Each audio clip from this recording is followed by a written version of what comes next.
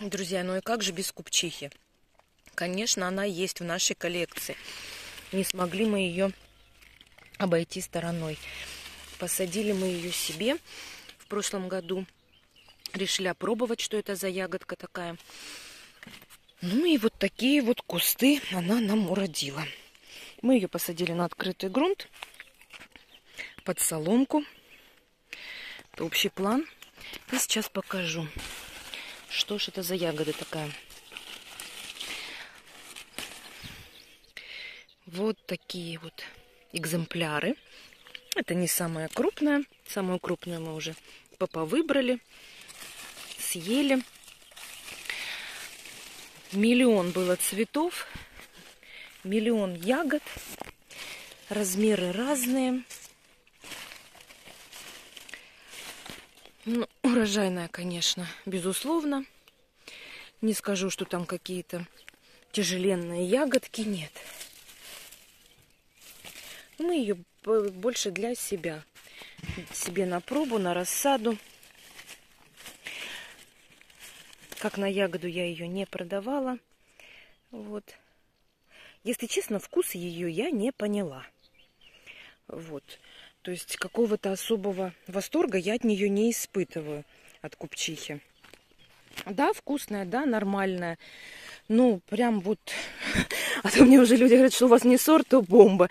Нет, ну вот купчиху бомбы я не назову. Она на любителя. Очень на любителя. Вот, ну, я, по всей видимости, не один из них. Ягода такая вот, знаете, суховатая. Она мясистая но нету сочности, вот как мы привыкли в клубнике. В обычной, вот даже вот в той же лии, вот она, у меня голубушка лежит. Там кусаешь, сок по усам течет. Здесь нет. Ну, сейчас покажу вам, что она внутри себя представляет. Вот.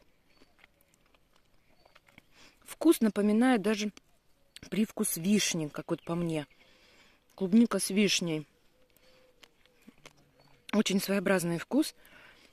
Он приятный, хороший, ну, на любителя, скажем так.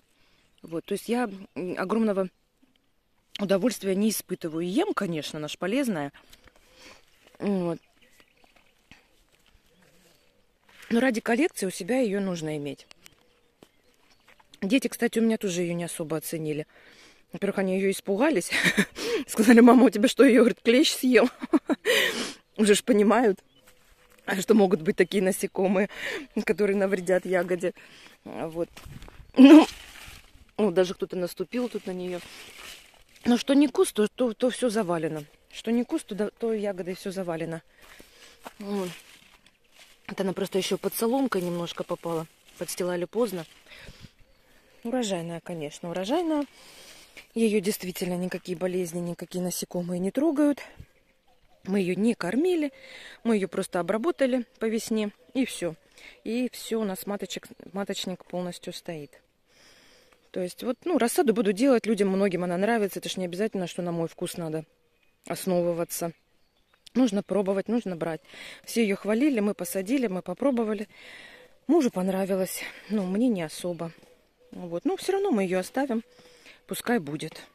Мы ее хотим повялить и оставить на зиму. Все, ребят, если кому-то нужна вдруг будет купчиха, саженцы будут.